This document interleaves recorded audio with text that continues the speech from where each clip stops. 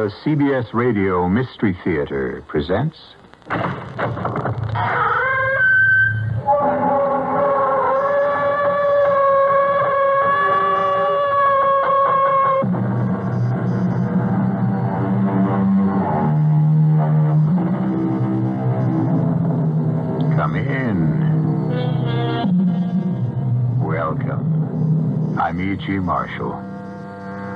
Here to guide you on an excursion throughout which I believe you'll be very glad to have a guide.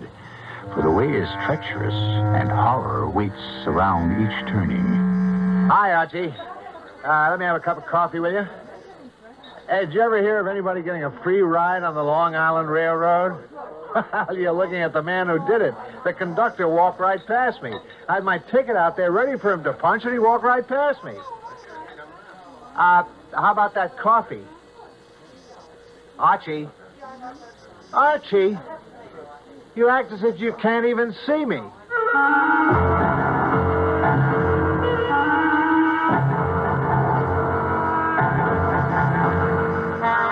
Our mystery drama, The Master Computer, was written especially for the Mystery Theater by Fielden Farrington and stars Robert Dryden and Augusta Dabney. It is sponsored in part by Anheuser-Busch Incorporated, Brewers of Budweiser, and Buick Motor Division. I'll be back shortly with Act One.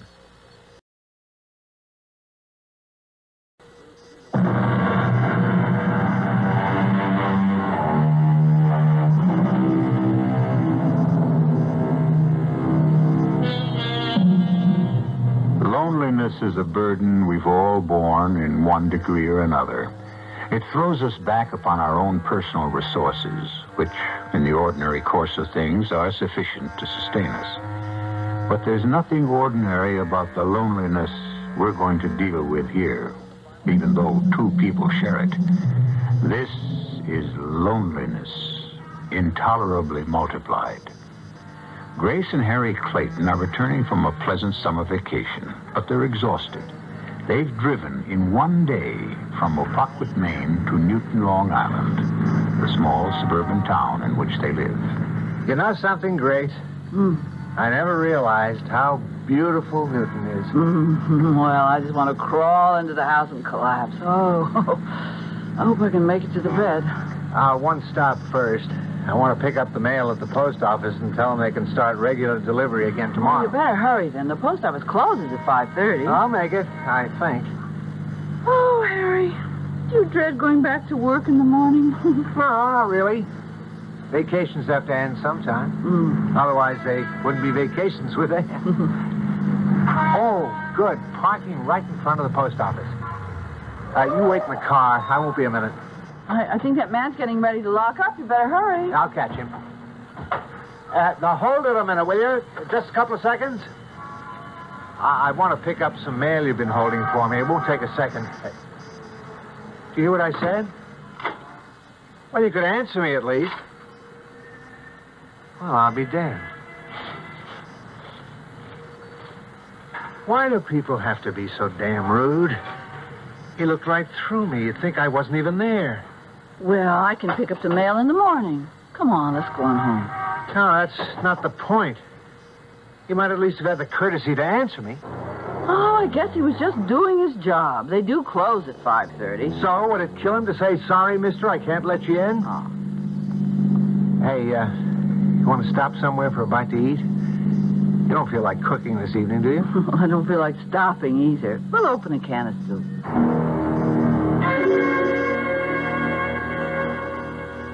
This bread's moldy, Grace. Oh, well, I'm sure there's some kind of crackers in the box. Oh, I've got just about enough energy to eat some soup and make one phone call. What phone call? I thought I'd call the kids at the camp. This evening? What for? Oh, I don't know, really. I, I, just, I just feel like talking to them. Okay. I've been worried about Benny's batting average myself. Uh, you go ahead and make the call. I'll heat the soup. I suppose it's silly, but I just don't feel like any. Can't catch her, what?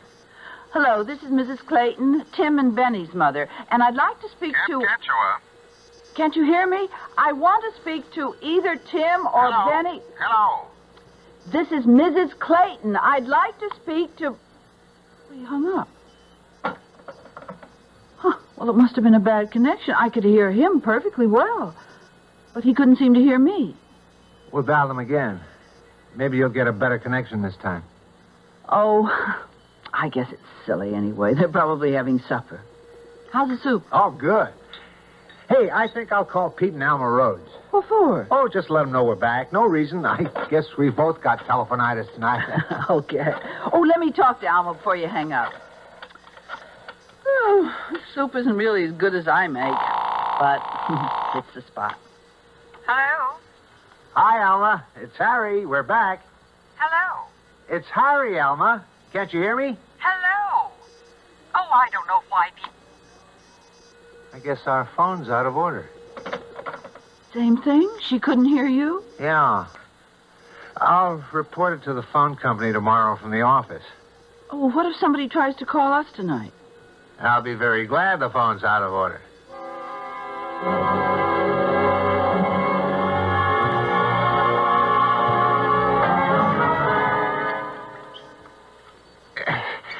What the devil's...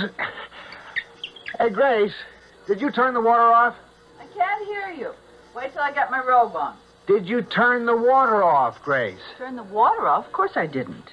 Well, it is off. Oh, it can't be. The, the shut-off valve is clear down in the basement. I haven't even been down there since we got home, neither of you. Well, look at it. No water. It must be out of order. How can the water be out of order? Uh, unless there's a broken main somewhere. Well, then there must be a broken main somewhere. Why don't you call the water company and...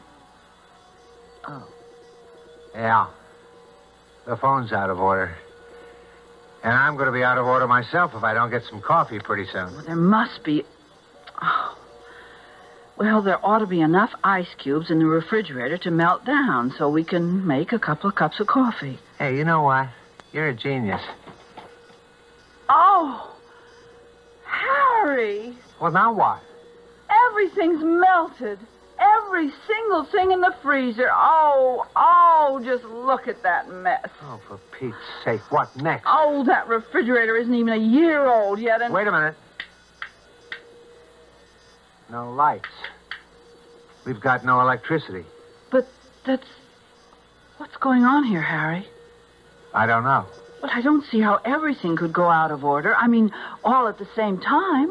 Well, look, I don't have time to check it out. I've got a train to catch. I'll get some coffee later. Well, what am I going to do all day in this house where nothing works? Go down the block and see Alma. She'll give you some coffee, and you can use her phone to call.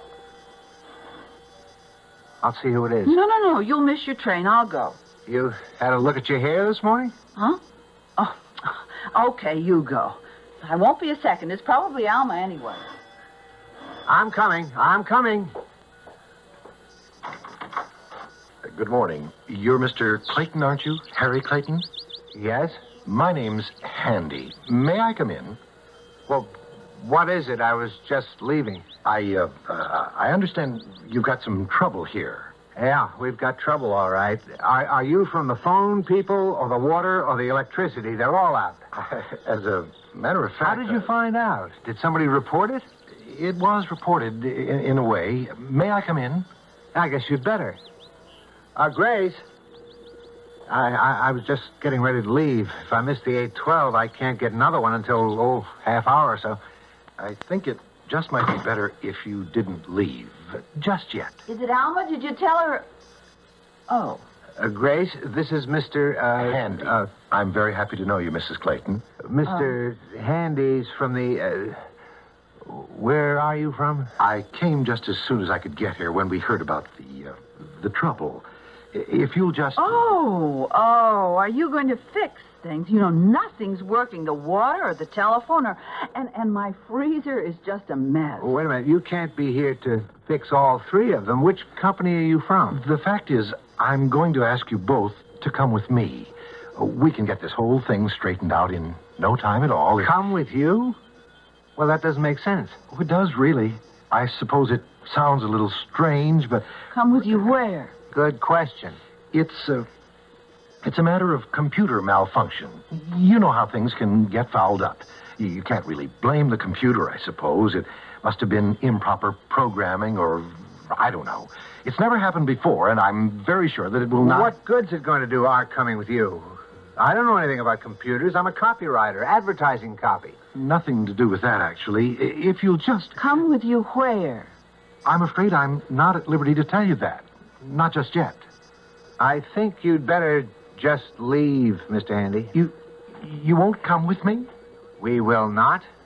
If you'd tell us where you want to take us, and maybe. Forget it, Grace. Oh, dear. I'm sure I don't know what's going to happen now. You're going to get out of this house and off this property. That's what's going to happen. All right, all right. I just hope. All right, I'm, I'm going. Now, I think you missed your train, Harry. So I'll take the next one. And if that kook shows up again, don't let him in.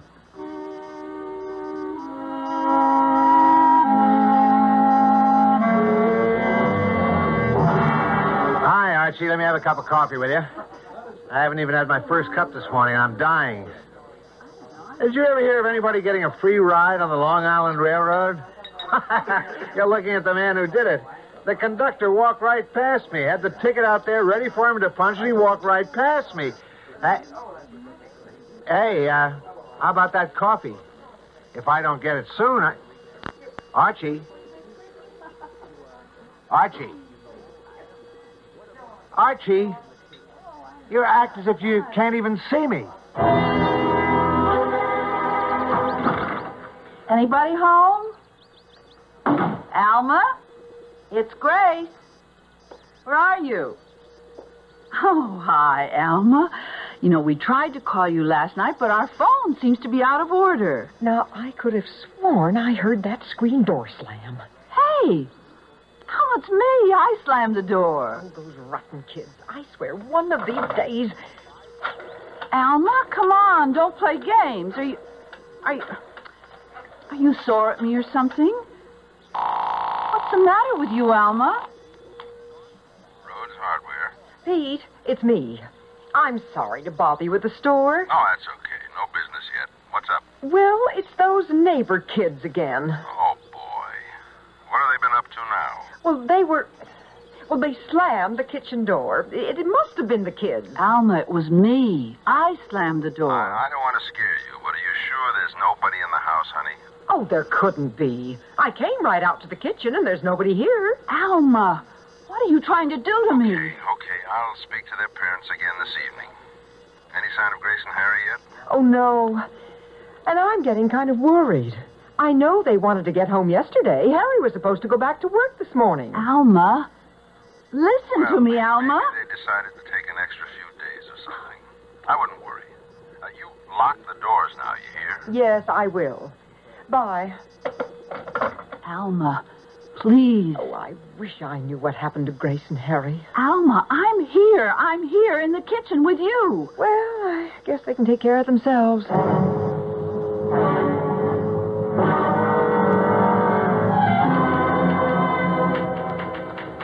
Alan. Alan, I'm back. Listen, will you knock it off with the typing and look at me for Pete's sake?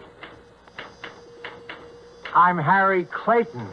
I've been here almost three years, and you. Damn it, look at me. Stop that typing.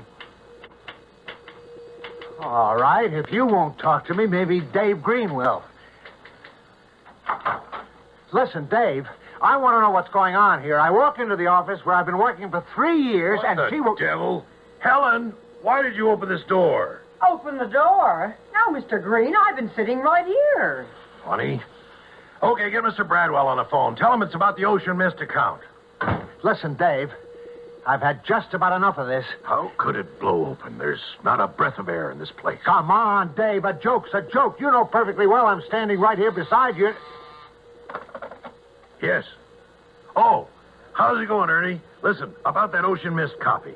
I I know, but Clayton hasn't come in yet this morning. Dave, for Pete's sake! Oh, he'll be here, all right. He's a dependable guy. Let's give him another day. He may have had some kind of car problem, you know. He's fast. We won't lose any time waiting. Don't worry. He'll show up. Or he'll be good and sorry. Is it possible for a man suddenly to become invisible to the people around him? Unable to make himself either seen or heard?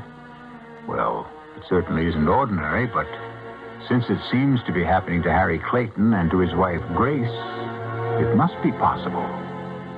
Imagine the feeling of total isolation. Imagine the loneliness. I do hope you'll be able to hear me when I return shortly with Act Two.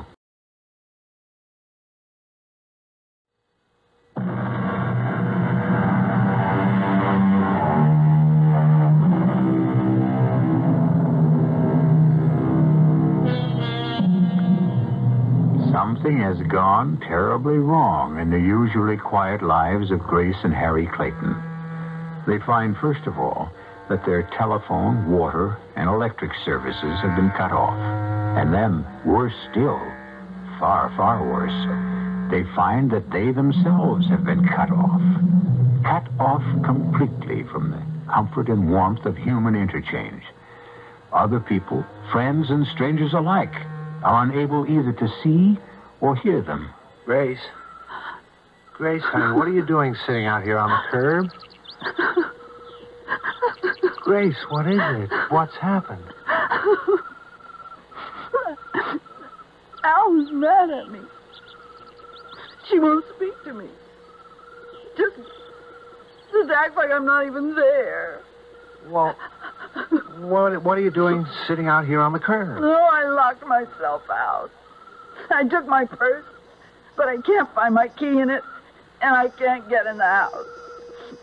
Uh, you say Alma acts as if you're not even there? Mm, yes, and I, and I think it's mean. And I told her so. The same thing's happening to me, Grace. Alma's mad at you, too? I mean, people don't see me or hear me when I speak. The counterman at the diner, Helen, the receptionist at the office, even Dave Green, the copy chief. But Why should everybody be mad at us all of a sudden? I don't think they are, Grace. I think they really can't see or hear us. Really? Can't? Oh. oh. But that is impossible. Is it?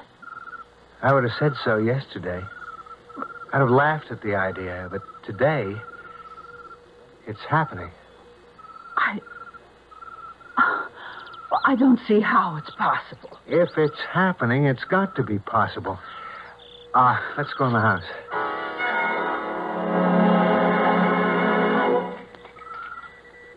Uh, I haven't got them. The keys? They're right there in your hand. Not the front or back door keys. How could they have got lost off the ring? Oh, they must be there. No, no, no, no. They've gone. I had them last night. We got in all right last night. Oh, dear. Should we try a window? Now they're all locked. Hey, I've still got the car keys. We can. What, go to a restaurant? No, we can't order. I'm not hungry anyway. Are you? No, no, I'm not. Now that you mention it. Well, we've got to go somewhere. We can't just stand here. Harry, let's uh, go and and try Pete and Alma again. I can tell you right now, it won't work. And it's not an experience I enjoy being treated as though I don't exist. But, but we could try once more, couldn't we? If it'll make you feel better, sure.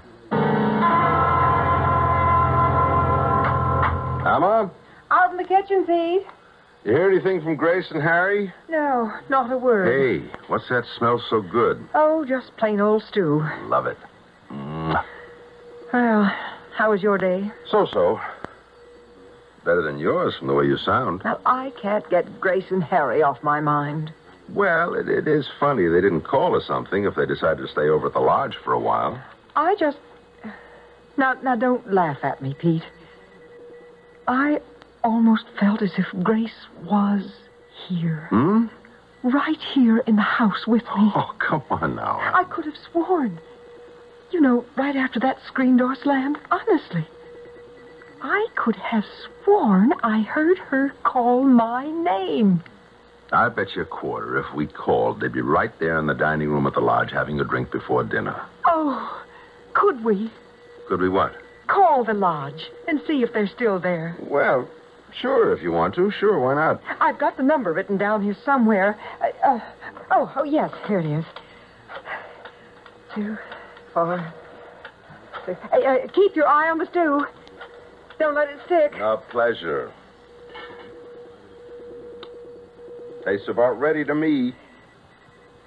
Is this a Poquet Lodge? Uh, I'd like to speak to either Mr. or Mrs. Harry Clayton, please. Is that quarter bet on? Quarter bet? Oh, oh, oh, okay. You win if they're there, and I win if they're. yes? Oh, I see. Well, can you tell me when they checked out? Yesterday morning. Uh, early yesterday morning. Uh, yes, well, all, all right. Thank you. Well, you heard what he said. Yeah, but well, it's a long drive. They most likely decided to stop at a motel last night. Okay, but why aren't they back now? They've had the whole day off to drive half the distance from Opoquet if they stopped at a motel last night. I don't know, Alma. Hey, what do you want to bet that's Grace and Harry right now? I'll go see. Oh, if they just got in, tell them there's plenty of stew here for four.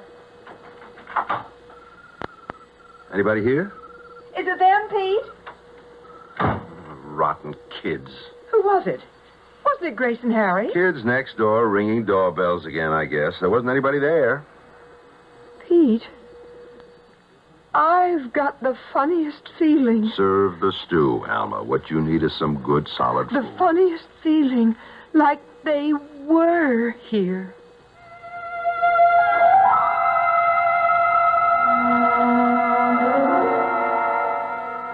There must be something we could have done, Harry.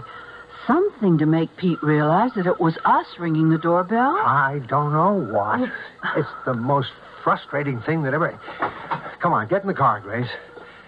I don't know what's happened to us, but I do know that things don't go the way you expect them to anymore. I'm scared, Harry. Scared. So am I. Ah, the car goes. That's something, anyway. Harry, Yes?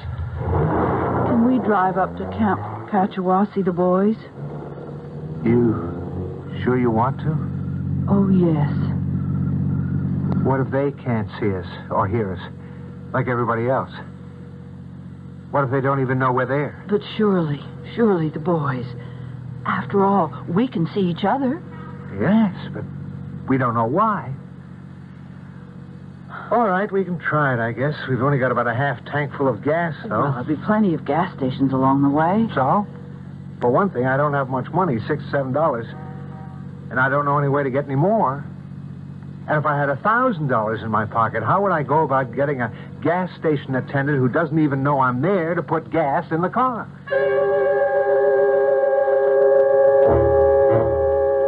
I don't know what to do, Pete. They didn't stay on at the lodge in Apoquet. They checked out yesterday morning. Well, they could have decided to go somewhere else. I mean, is it really any of our business? Pete, they're our friends. Okay, okay. I don't like the looks of it either. I think we ought to call the police. Now, look, Alma, you don't call the police and say you have a feeling something's wrong. They don't operate that way. They'd write you off as a crackpot. Well, maybe they would. Maybe I am a crackpot, but ah. I do have this feeling. Well, they can write it off if they want to, but I can't. Well, all right, all right. If you feel that strongly about it, I'll call them. No, I'm the crackpot. I'll do the calling. Uh, what do I do, Pete? Just dial the operator? 516 zero zero zero zero. Oh, okay. Now, if you'd rather I talk to them. No, no, no, no. I, I'll do it. Hello? Police headquarters? I want to report what what I believe is a missing person. Two missing persons. Their names? Harry and Grace Clayton. Yes, they live at 145 Hillside Avenue here in Newton.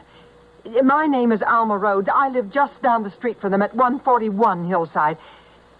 Well, You see, they've been away on vacation. Uh, they stayed at a Poquet Lodge in Poquet, Maine. Well, they were supposed to be back home sometime yesterday. And, well, they haven't come back. Yes, we tried the lodge. Yesterday morning. Yes, the they checked out yesterday morning. Well, I suppose it doesn't sound like much to you, but. Oh. Oh, yes, that's what I thought, too.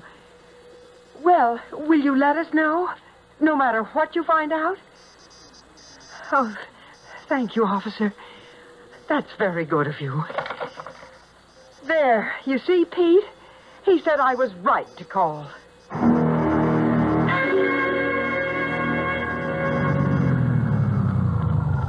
I don't think this station's open, Harry. Well, we're running pretty low on gas.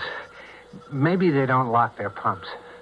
Isn't there a light in that window around there on the side? Huh? Oh, yeah, looks like it, huh?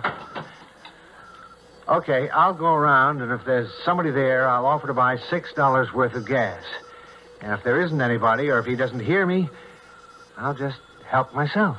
Well, I don't know whether to come with you or, or wait here. Wait here. I won't be long. Hello there. I'd like to buy some gasoline. Six dollars worth of gas if you're open for business. If you don't sell me six dollars worth, I'm going to steal a whole tank full. Okay, if that's the way you want it. Did you talk to him? Yeah, sure, I talked to him. He didn't answer me, of course, but I talked to him. He may have been asleep. He was leaning back in a swivel chair with his eyes shut. Well, didn't you shake him or anything? No. No, I, uh, I didn't want to touch him. Hmm? Uh, wait a minute. Let me see if I can make this pump work. Ah, it works. Turns itself off when it's full. Harry, Yes? why didn't you want to touch him? I don't know. I've been thinking about that. I I haven't felt like touching anybody all day. On the train earlier, I kept dodging and ducking so I wouldn't touch the other passengers. Why? Well, I guess I I don't really know. Maybe I was afraid that they wouldn't feel it if I touched them. But you picked up the pump hose and put it in the tank. I mean, I mean, if you could do that. Yeah, I know, I know. Let's go, Harry. As soon as the tank's full. See, the gas hose is a thing. I'm afraid to touch people. I'm afraid to.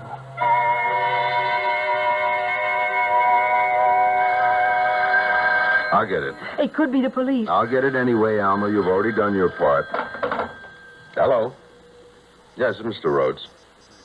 Oh, yes, Sergeant. It was my wife who called you earlier. Well, I don't know exactly. I'd say uh, early 40s. Maybe she's in her late 30s. Oh, Lord. Well, no, no, that doesn't seem likely. Well, yes, yes, I guess we could do that. About uh, 20 minutes? Yes. And uh, thank you very much, Sergeant. Have they found them? Well, uh, they don't know yet. There was an accident yesterday afternoon just the Manhattan side of the Cross Island cutoff. Oh, no. Now, no. now, now, wait, please, Alma. They, they don't know yet. Two people, a man and a woman, were hurt, but they didn't have any identification on them. Now, that doesn't seem likely, does it? I mean, that Grace and Harry would travel without identification? Are they. I mean, They're are still they- alive, but uh, it, it, it, it looks bad. Oh. They want us to uh, come over to Union Hospital and uh, make an identification, if we can.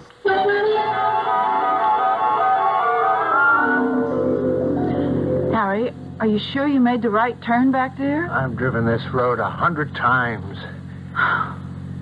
Harry, Huh? you remember that man who came to see us this morning? What was his name? Uh, Handy. Mr. Handy. Yes, yes.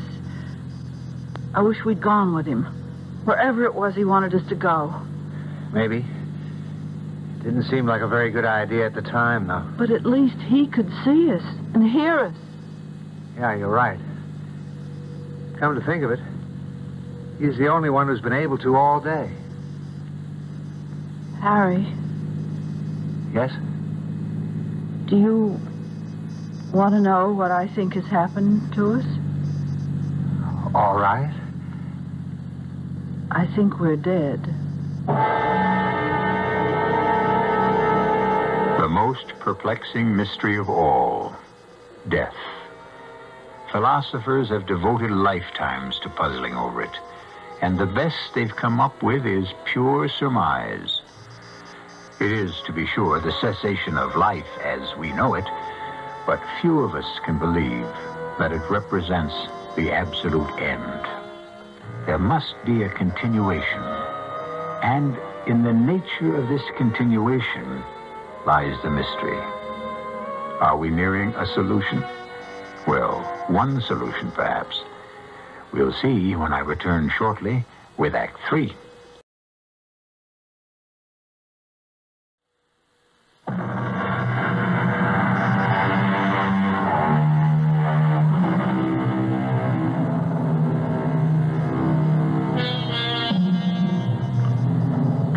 Of the world, Grace and Harry Clayton have apparently ceased to exist. Although they move about among people as they've always done, these people are now quite unaware of their presence. Grace has come to believe that they are actually dead, and that the mysterious thing that has happened to them is life after death. They're on their way now to see their two boys, Tim and Benny, at Camp Kachawa. They suddenly feel a great need to do this. No. I don't think so. Don't think what, Harry? That we're dead. I mean, would it be like this? Is this, just this, what it's all about? Well, then what is it if it isn't death? I don't know. Could it be some kind of an of an in-between thing? I mean, like like purgatory or, or limbo or, or I don't know what you'd call it, but but could it be something like that? It could be anything. It could be. Oh, I make a right here, don't I? Mm, Won't the boys be in bed by now? I don't care. We can go into their cabins and and and well, we can look at them at least. Nobody can keep us from doing that. No. You think it's for the last time, don't you, Grace? Yes.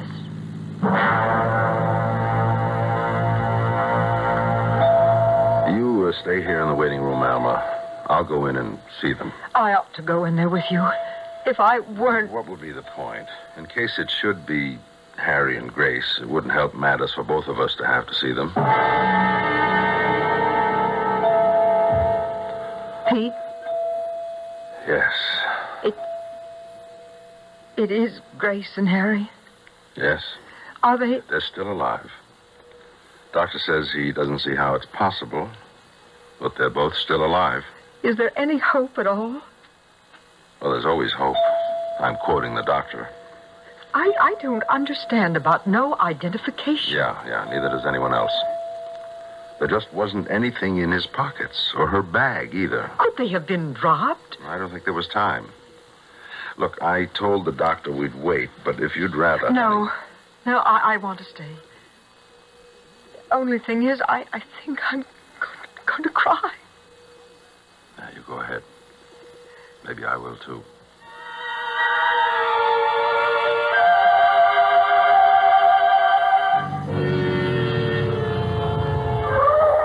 What's this? The office? Why are you stopping at the office? Well, maybe the counselor will talk to us. Well, he might. Just because we. You know better, Harry. Yeah, okay. But anyway, we don't know what cabin Tim and Benny are in. They must have a record of it somewhere in the office. Tim wrote that they have a little cabin all to themselves. These prices, they should have room service. Uh, if, uh, If you're right, what about the boys? I don't know. My sister, I guess. And her husband, Alice, and and Fred, they'll be good to them and and Oh, Harry. Honey, we don't know. Not yet. We're not sure. Okay. Uh, good evening. Uh, we're Mr. and Mrs. Clayton, Tim and Benny's parents, and uh, Clara there. Yeah, this is John Finch. Ah, I'm sorry to bother you while you're on the phone, He but doesn't hear you, Harry. Hey, Clara, how's it going? Yeah, I'm stuck here tonight, you know, just waiting for the phone to ring or whatever. if you could just take a second or two and tell us which cabin Tim and Benny Clayton We'll are have in, to we find it for ourselves, Harry. He doesn't know we're here. Let's check this filing So, cabinet. so long as I got this place to my. What the devil? Hey, just hang on a minute, Clara. Health charts, these look like. Who did that? Now, wait, wait a minute. Who's in here? This could be it. Yes, Arnold, Barlow. Yes, yes, here it is. Clayton, Timothy, and Benjamin. Ah. Cabin number Now, seven. wait a minute. Put that folder back in there. Oh, Lord. Let's go, Grace. Clara? Hey, Clara, something screwy's going on here.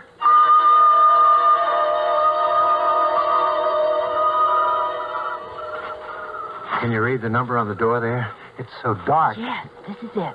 Number seven. Are you. Are you going to try to talk to them, Harry? We'll see. There must be a light switch somewhere. Oh, oh, here. Oh, they look. Oh, they look like angels when they're asleep. All kids do. You don't have to whisper. Oh. Habit, I guess. You want to try to wake them up? No. No, I think I'd rather not. Look at that tan on Oh. Benny. He's been living in the sun. Oh. Yeah, I think it's bleached his hair some, too. Oh, Tim's got a big scrape place right on the end of his nose. Oh, Harry. I think we'd better get out of here, Grace. Not just yet, please. It. It might be the last. Can't we stay for just a little while? All right. We'll have to go eventually. Benny's. Oh, Benny's been biting his nails again.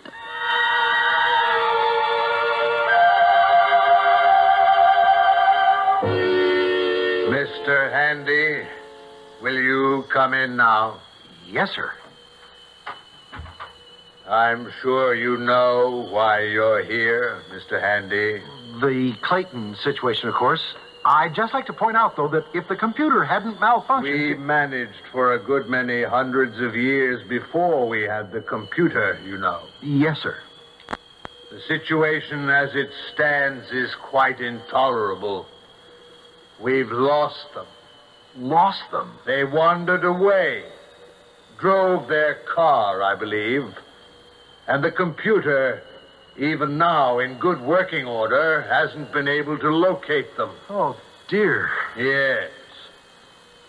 You made contact this morning and then let them get away. Isn't that true? They wouldn't come with me, sir. They absolutely refused.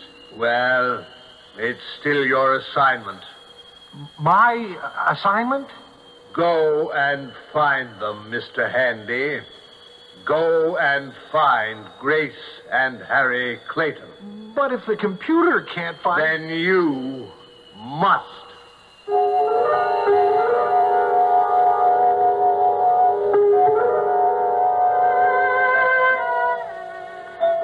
Pete, what did the doctor say? They're gone, Alma. Oh, Pete. It's a blessing, really. They were so. They were just too badly banged up. Brain damage in both cases, and just too much. Well, we've got to call Grace's sister. You want to, or shall I? No. I'll, I'll do it.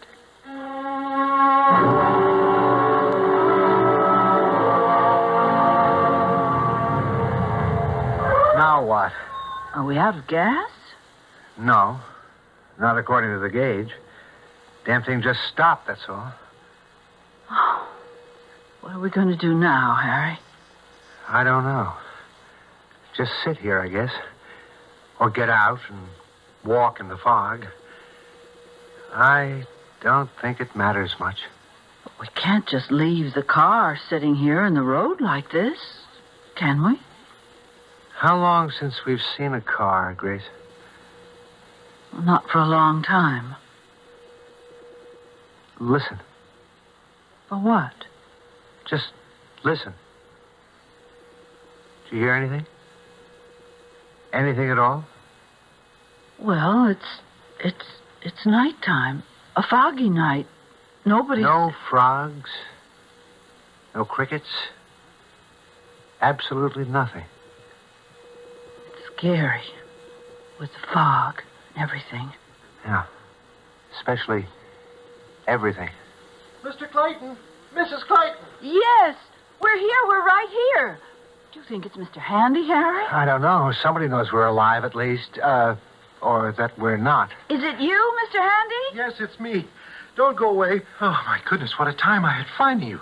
You shouldn't have left the house. Well, we couldn't get back in. We both lost our keys some way. Yes, well, it doesn't matter now, does it?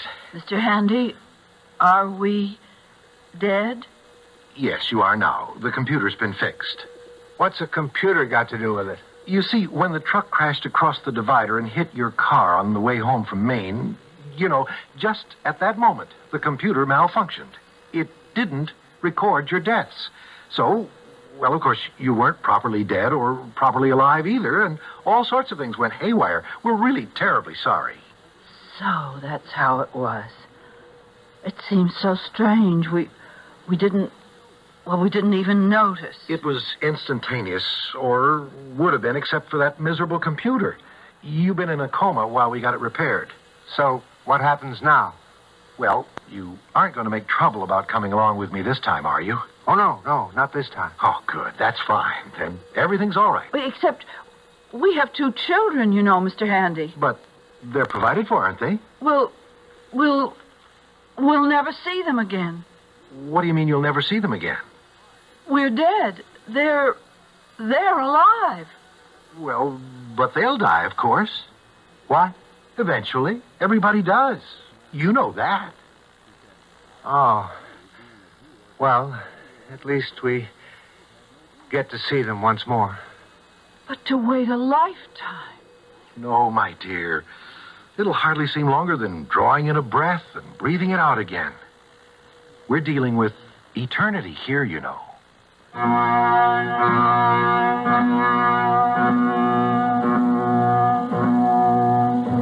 Well, perhaps that's the way it happens. Perhaps it isn't. All we can do is pass the story along to you as it came to us.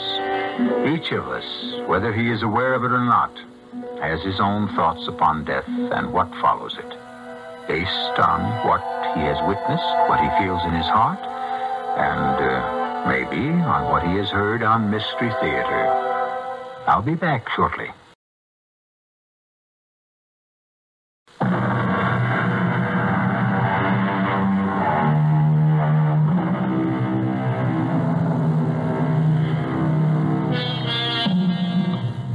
No way to give you a follow up on what happened after the end of our story. We are not privy to that information. We like to believe, and do believe, that all went well and that we've given you as happy an ending as a story about death can have. Our cast included Augusta Dabney, Robert Dryden, Joan Shay, Nat Polen, and Robert Maxwell. The entire production was under the direction of Himan Brown. Now, a preview of our next tale. Where do you feel ill? What is stomach? But your head? Sit down on the rocker. You look ghastly. Mm-hmm. Laura, maybe, maybe if, I, if, if I had a brandy. I'll telephone Paul Schiller. No, no, no, no, please. He's, he's, he's operating at 7. I, I've just got a chill or something. You wipe your face with a wet cloth, and I'll be right up. I heard them. Every word. They're coming back. Killers. Oh, what shall I do? Is it too late to call the police and turn in the money? Maybe not. But give up $80,000 because I'm afraid of a pair of hoodlums? What have I got to be afraid of? say they confront me, I, I, I tell them that I haven't got the money. Would they risk shooting me? No, I won't give up that money. I won't. Radio Mystery Theater was sponsored in part by Buick Motor Division and Anheuser-Busch Incorporated, brewers of Budweiser. This is E.G. Marshall inviting you to return to our Mystery Theater for another adventure in the macabre. Until next time, pleasant dreams.